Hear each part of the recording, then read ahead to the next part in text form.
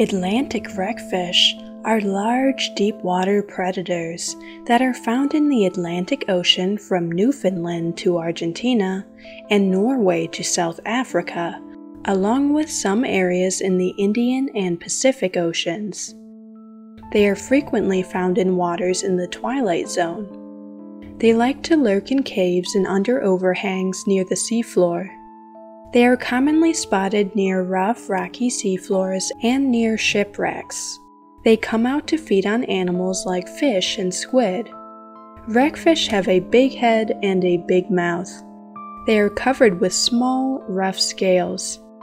There is a rough, bony ridge across the upper part of their gill cover. They are bluish gray on the back and paler on the underside with a silvery sheen. Juveniles have black blotches on their head and body.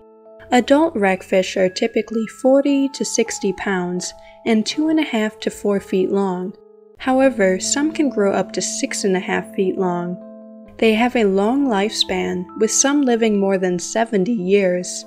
Some wreckfish mature as early as 8 years old. They can spawn multiple times each year. Eggs are fertilized externally, Eggs and larvae drift in the water column. Juveniles inhabit the open water and often associate with floating seaweed and debris. They may live this way for more than two years before transitioning to inhabit the bottom. Adults have no known predators, however, they are at risk for overfishing. For more marine facts, click the subscribe button.